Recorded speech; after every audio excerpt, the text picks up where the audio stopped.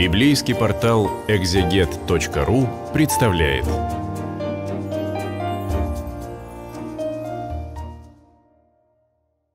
Сегодня на библейском портале «Экзегет» мы продолжаем наши беседы а, по Евангелию от Марка, по тексту Острожской Библии 1581 года. И сегодня мы будем читать 13 э, главу этого Евангелия. И мы читаем с первого стиха и ниже. «Исходящую ему от церкви, глагола ему един от ученик его, учителю, вишь, каково каменье и какова здание, то есть обращает его внимание на здание храма, и отвечав, Иисус рече ему, видишь ли сия, велика здание – не имать остати зде камень на камени, и же не разориться. Христос говорит, все тут будет разрушено, камень на камне не останется.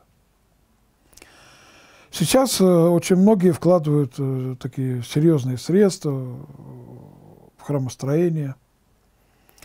Но если э, по мере возведения святых храмов не будет расти вера в наших сердцах, то эти храмы у нас заберут. Их заберут у нас.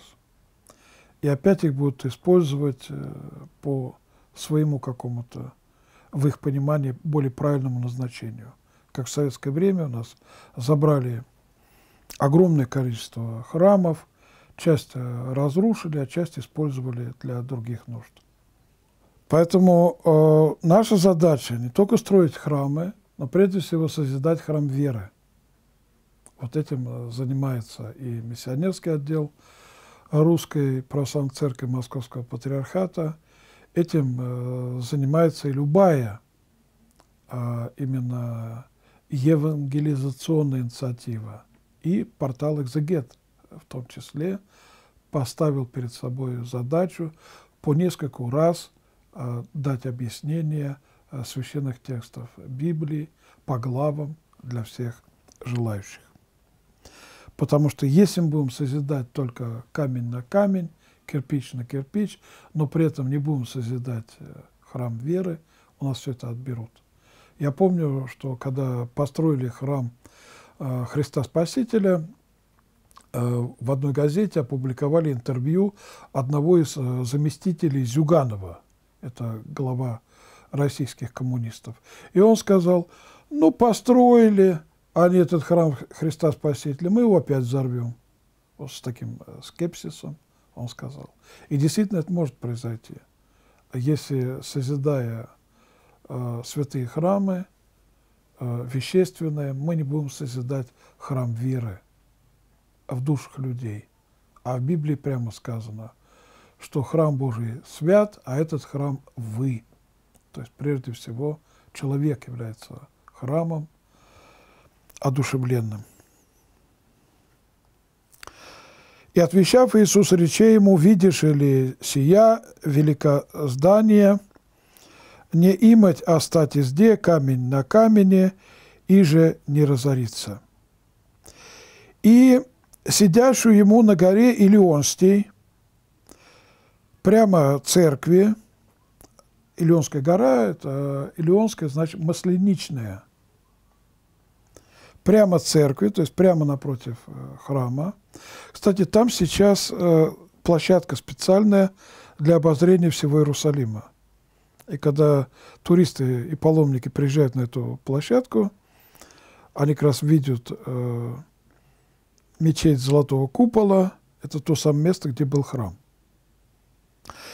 И сидящую ему на горе Елеонстей, э, прямо церкви, то есть напротив храма, сейчас на Елеонской горе, кстати, э, женский православный монастырь. Вопрошах у его единого, то есть наедине, Петр и Иаков, Иоанн и Андрей. Они спрашивают его наедине. «Рцы нам, когда сия будет?» Они задают вопрос, а когда конец света? Этот вопрос многих интересует, но некоторых он интересует очень праздно. Когда сия буд, будут, и кое а, будет знамение, егда имут вся сия скончатися, то есть когда твое пришествие и когда кончина мира. Иисус же, отвечав им, начать глаголоте, «Блюдетеся, да никто вас прельстит. Мнози бо придут во имя Мое, глаголюше, яко ас есть». Вот здесь Христос прямо говорит, что на волне вот интереса к эсхатологическим вопросам появится много мошенников. И сейчас много сайтов, где там такая информация о последних временах, но в таком каком-то исковерканном, не библейском и не святоотеческом виде. Поэтому, отвечая на этот вопрос, э, Христос указывает на то, что будет много спекуляций по поводу конца света. А интерес многих людей, он празден и неоправдан. Когда меня лично спрашивают, когда конец света, я прямо говорю, вот умрешь, вот тебе конец света. И ангелы появятся, и бесы, там, мытарство начнутся. Звезды погаснут, солнце погаснет, и будешь в другом мире. И Христос предупреждает, что по поводу эсхатологических вопросов будет много мошенничества. И действительно были люди, которые назначали разные даты конца света. Например, э, Вильям Миллер, основатель движения адвентистов седьмого дня, э, в первой половине XIX века он объявил дату, когда будет пришествие Христова, конец света. Организация сторожевой башни э, теперешние свидетели Иеговы, э, их э, первый э, президент Чарльз Рассель объявлял, что 1914 год – это год пришествия Христа, причем воплоти, и конец света, начало Армагеддона. А когда эта дата прошла, он стал говорить, что нет, это пришествие не воплоти, а это присутствие Христа начинается на земле, а когда Армагеддон, мы еще не знаем, будем ожидать. То есть он поменял как бы свое отношение к этой дате, а сменивший его президент Рутерфорд а, прямо в своих брошюрках, все сохраняется, все эти брошюрки, книги, а, писал, а, что он будет тем президентом, который поможет этой организации перейти через огонь Армагеддона. Но он умер э, во время Второй мировой войны э, в неком Бефсарине, э, дом э, князей, который построили для 12 патриархов, э, то есть э, сыновей Иакова. Но пока они не воскресли, он там жил до смерти. Потом стыдливо э, эта организация продала этот дом Бефсарин. И вот Христос предупреждает о таких э, мошенниках. «Многие бы придут э, во имя Мое глаголющее, яко ас есть, то есть лжехристы появятся, и многие прельстят, их даже услышите брани, то есть услышите э, войны, военные конфликты, и слышание бранием, слышание брани – это разговоры на эту тему. У нас как телевизор включишь – постоянно идут вот эти разговоры о военных конфликтах, слухи какие-то. Многие сейчас перестали смотреть, кстати, телевидение, потому что э, все депрессивное такое вываливается на людей с этого экрана. Егда же услышите брани и э, слышание бранием, не ужасайтесь, подобает бо быти, но не у кончина, то есть не это конец. Конец будет тогда, когда начнутся реальные мировые войны. И Христос говорит, восстанет бо язык на язык, то есть народ на народ, и царство на царство, и будут труси по местам землетрясения, и будут э, глады, голод и мятежи. Ну, всякие Майданы там начнутся, революционные потрясения. Начало – болезням си. Обычно в те времена, когда жил Христос, не было так, чтобы там народ на народ, царство на царство. Таких войн не было. Обычно воевали как народ с народом, и все. Или там одно царство нападает на другое. А так, чтобы народ на народ и царство на царство, такого не было. Имеется в виду мировые э, войны, такие глобальные конфликты, которые втянут э, в свой водоворот разные народы, разные царства. И в 20 веке мы имеем две мировых войны, и сейчас, похоже, мы входим в, ста- в фазу третьей, в стадию третьей. В результате этих э, военных э, конфликтов, гонок, э, военного вооружения э, будет голод, потому что эта состязательность, она нас оставит скоро без штанов. А будут труси по местам землетрясения, потому что военные конфликты с использованием ядерного оружия, это повлияет на экологию. И все это начало болезням. Конечно же, прежде всего имеется в виду лучевые болезни, если, не дай бог, будет э, применяться ядерное оружие. Кстати, у пророка Исаия прямо говорится о том, что это будет применяться. Э, там сказано, вы изготовляете огненные стрелы на день суда, войдите, проклятые, в этот огонь и уничтожьте друг друга. Огненные стрелы на день суда. Но Исаия не может написать ракеты с ядерными боеголовками. Он записал это, как он это видел. И огромный огонь, который возникает после этого, и губит и ту, и другую сторону. Победителя э, не может быть в таком ядерном конфликте. Блюдите же ся, вы сами, то есть следите за собой, блюдите себя. Предадят бо вы в сон меща, то есть вас приведут в синагоги. И на э, соборищах биение будете, и биты будете там. И пред воеводами, и цари, видение будете меня ради, во свидетельство им. А вот интересная деталь. Оказывается, Господь попускает нам э, сталкиваться с нашими мучителями с одной целью – во свидетельство им. Кому им? А вот этим нашим гонителям царям, воеводам, чтобы через нас, они нас к себе потащат, чтобы пытать и умертвить, а Господь хочет, чтобы это было во свидетельство им, чтобы мы им говорили, за что мы готовы страдать и даже умирать. Чтобы никто из этих воевод и царей нечестивых, правителей, не смог бы в день суда сказать, Господи, а я не видел Твоих свидетелей истинных. Никто мне не проповедовал.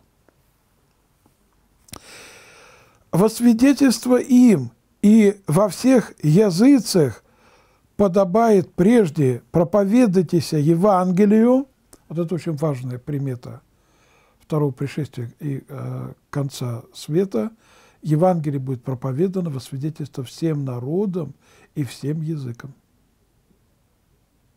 Если под проповедью Евангелия мы понимаем только проповедь православия, то проповедь всем народам и языкам, она только начинается. Только начинается. Потому что православная миссия очень инертна. Она не очень удачно развивается. Но есть блестящие примеры, например, миссия святителя Николая Касаткина в Японии, Харбинская миссия в Китае. Это очень интересные успехи. Антиохийская церковь э, очень интересно проводит миссию в Соединенных Штатах Америки, там западное побережье, целые баптистские города принимают э, свет, свет православия. Егда же поведут вы, предающие, то есть когда вас предатели поведут на допросы, а прежде пецетися, что возглаголите, не поучайтесь, то есть не думайте о том, что говорить. Но еже аше даст вам в тот, в той час все глагол, глаголите, вот Господь даст вам слова, которые вы произнесете перед гонителями. Не вы будете глаголющие, но Дух Святый. То есть Дух Святый он будет через нас свидетельствовать э, вот этим нашим гонителям. Последнее время будет э, оскудение любви всецелое. Предашь же брат брата на смерть, и отец чада, то есть взаимное стукачество начнется. И восстанут чада на родителя, и убьют их, и будете ненавидимы всеми имени моего ради. Претерпевый же до конца сей спасен будет. Вот здесь очень конкретно Христос говорит, что будут ненавидимы всеми христиане. Вот даже 20 лет назад такой ненависти к христианам не было в мире. Просто не было. Сейчас христиан на Ближнем Востоке режут, отрезают им головы. Э, Европа молчит. В Саудовской Аравии там побивают камнями христиан. Все эти правозащитники гнилые, они тоже молчат. У них э, двойные э, стандарты. Но это та реальность, которую мы переживаем. Нас ненавидят. Почему нас ненавидят? Кто-то скажет, а может быть, э, их ненавидят за их грехи. Да мир возлюбил грех. Если бы мы грешили вместе э, с мирскими людьми, мы были бы друзьями для них первыми. Они бы нас распознавали как своих. Нас ненавидят не поэтому. Мы такие же люди, как и другие, у нас тоже есть много нравственных, моральных проблем. Но мы верим во Христа. А сказано у апостола Павла – что желающие жить благочестиво будут гонимы. Это та реальность, которую мы переживаем. И будьте ненавидимы э, всеми имени моего ради, претерпевый же до конца сей спасен будет. Вот это утешительные э, слова. Через терпение мы приходим к спасению. Почему? Сказано, ибо страдающие плотью перестают грешить. То есть нам будет уже не до грехов когда начнутся гонения. Произойдет внутренняя нравственная, моральная стабилизация. Егда же узрите мерзость запустения, реченную Даниилом пророком, ста, стоящую иде же не подобает, чты да разумеет. О чем это? Пророк Даниил сказал, что в последние времена будет мерзость запустения на крыле храма. И одни святые отцы предлагают такое истолкование. Антихрист восстановит Иерусалимский храм на святом месте, на горе Мария, и воссядет в нем. Златоуст с этим не соглашается. Златоуст говорит, Антихрист воцарится не в жидовской церкви, а по всем христианским церквам он сядет, ибо его слуги проникнут в христианский мир в период апостасии. Апостасия – это отступление. Отступить от истины может только тот, кто в истине пребывает. Поэтому процесс апостасии – это процесс расцерковления. Когда мы сами христиане провалимся во мрак либерализма, безответственного модернизма – у Честертона есть интересное высказывание. Он говорил, церковь может как-то пережить либеральный мир, но вот либеральный христианский мир, то есть либеральную церковь, мир уже не переживет. Если церковь станет либеральной, все это рухнет, ничего не останется. И конец света наступает тогда, когда скудеет полк святых – то есть, когда верующих будет очень мало. И сам Христос говорит, э, э, Сын Божий, Сын человеческий, придя на землю, обрящет ли веру на земле? Найдет ли верующих? Егда же узрите мерзость запустения, реченную Данилом пророком, стоящую и деже не подобает, чты да разумеет. И в Апокалипсисе сказано, что треть звезд спадут с неба. А звезды это кто? Это епископы. Посыпятся с неба во мрак.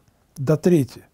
Но истинное священство будет сохраняться и во дни Антихриста, деканат, пресвитериат, епископат.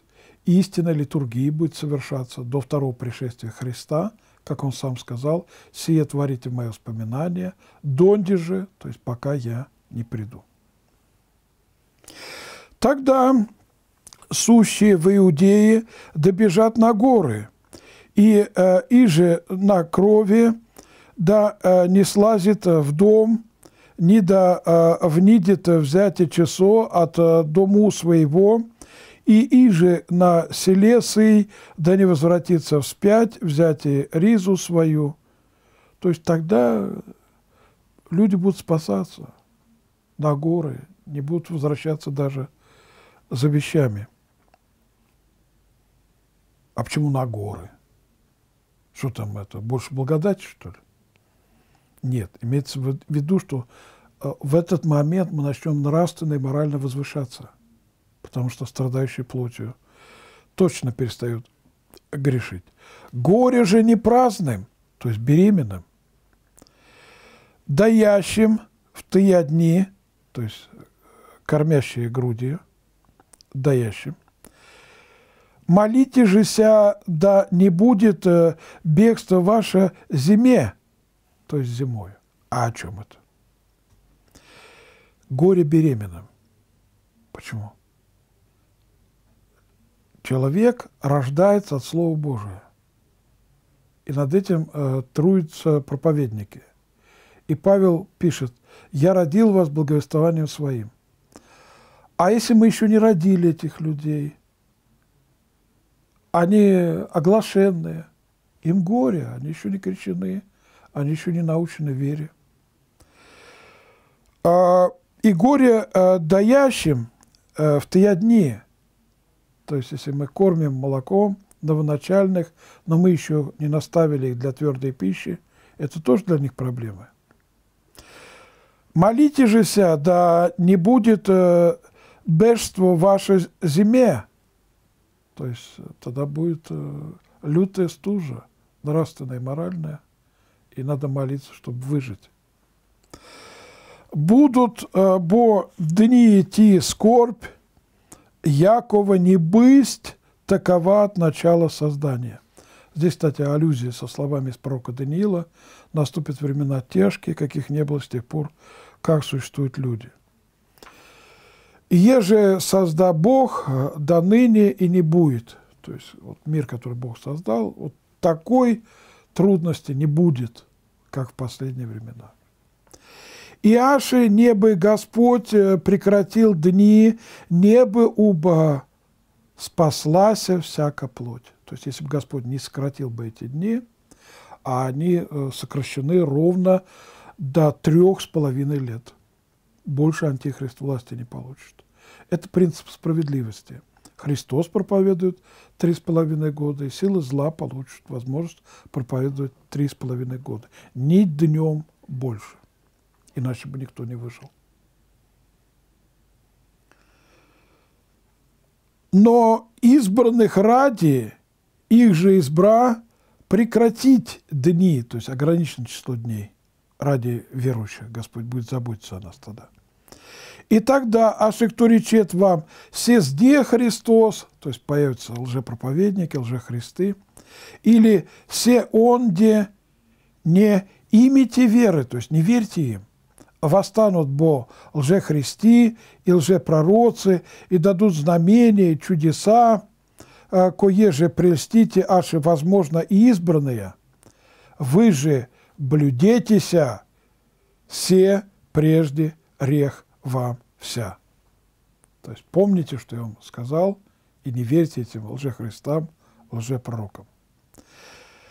Но в те дни по скорби той солнце померкнет, и луна не даст света своего.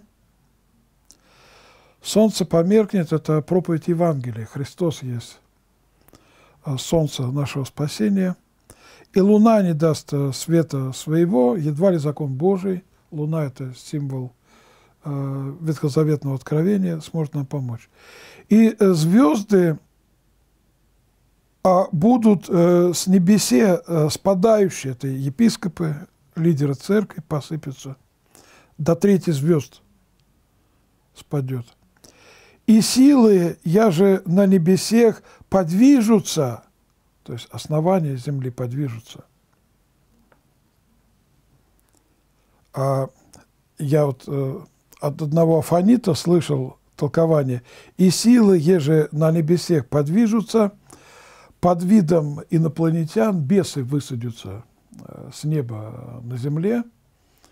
Так он объяснил. А так как сейчас везде культивируется вот этот первый контакт, фильмы снимают, книги пишут, таким образом подготовляют людей к принятию бесов, а, как бы неких таких. Эти зеленые человечки, но как бы добрые. Но это бесовщина. Как отец Серафим Роуз в своей книге «Грядущая религия Антихриста» он прямо пишет, что вся эта фантастика, это создается новая религия с черного хода, а это будет просто высадка бесов. И силы я же на небесех подвижутся, и тогда узрят Сына Человеческого грядущего, грядуща на облацех силою и славою многою. Силою и славою многою Христос будет являться в мир в окружении святых. И они как сила небесная. А слава многое – это встретение Христу, поднимутся с земли все верующие, будет вознесение всех христиан, и они сгруппируются вокруг Христа, который будет входить в реальность э, земного мира – и тогда послед ангелы своя, это ангелы-жнецы, и э, соберет избранные своя от четырех ветер от конца земли до конца небу, от смоковница же научитесь притчи. Егда уже ветви я будут, будет э, млада, когда только начинают веточки расцветать, и извращает листвие, там листочки, «Ведите, яко близ есть жатва». Мы начинаем ждать э, плоды от смоковницы. Так и вы. Егда сия видите бывающее, то есть когда увидите, что вот эти слова мои сбываются, ведите, знайте, яко близ есть при дверях. То есть уже близко. Аминь, глаголю вам яко не имать, прийти род сей, донде же вся сия будут. То есть люди, э, поколения э, после потопа – это род, который сберегается для огня. Первый род погиб в водах потопа, второй сберегается для огня, и они не смогут миновать этот огонь. «Небо и земля придут, словеса же моя не придут, одни же том или о часе, никто же весть, ни ангеле, и же суть на небесех, ни сын, только отец. А как же тогда церковь учит, что все, что имеет отец, имеет и сын? Сын по человечеству этого не знает, а по божеству, конечно, знает. Почему Господь скрыл от нас день тот, его дату? Это сделано с одной целью – чтобы история церкви была бы историей ожидания. Потому что если бы мы знали бы, что точно в это время придет, там через 500 лет, мы бы вели себя расслабленно, а, как я уже сказал, умрешь, вот тебе и конец света. Поэтому люди имеют право каждый период человеческой истории воспринимать как последние времена – и Иоанн Богослов пишет в своих посланиях, детки последнее время. И действительно это было для них последнее время. Многие из них э, зашли на свою Голгофу и в мучениях покинули эту жизнь. То есть дата скрыта, чтобы мы бодрствовали, ожидая. Блюдете, бдите и молитесь. Вот почему скрыта дата – невесте Бог, когда время будет. Бодрствуйте, бдите, молитесь, потому что невесте, то есть не знайте, когда это будет.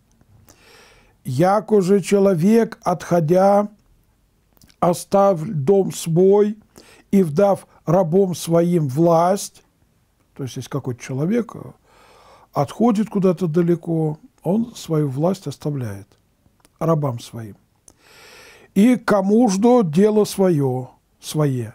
И каждому поручает какое-то дело. И вратарю повеле вратарю, это вратница. Да бдит, то есть охраняет ворота.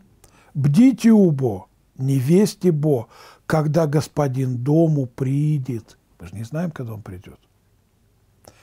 Вечер или полунощи, или в пятло глашение, то есть при крике э, петуха, или утро, да не пришед внезапу хозяин дому, обрящет вы спящая. А и же вам глаголю, всем глаголю, бдите, то есть бодрствуйте, вы не знаете, когда хозяин этого дома, хозяин этого мира придет спросить каждого из нас. У этого мира есть хозяин. Это не какой-нибудь там Морган, не какой-нибудь там Рокфеллер. По праву Творца Бог является единственным собственником во Вселенной. Как я часто объясняю, есть несколько типов э, собственности. Например, вы можете купить э, какую-то вещь и использовать как свою. Это несовершенный тип собственности.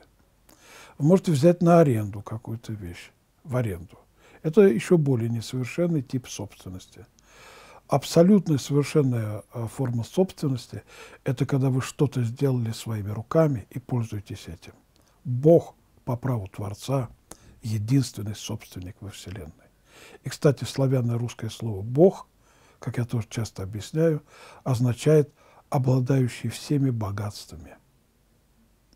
По праву Творца все, что Он создал, Он имеет как свое. И если мы чем-то пользуемся – Опять вспоминаю слова апостола Павла, а что ты такое имеешь, чтобы ты не получил? Все мы во власти Бога. И грядущий судный день, никто не сможет избежать его. Может быть, многие из нас не доживут до исторического апокалипсиса, но смерть каждого из нас есть персональный апокалипсис каждого из нас. Будем молиться, бдить и бодрствовать.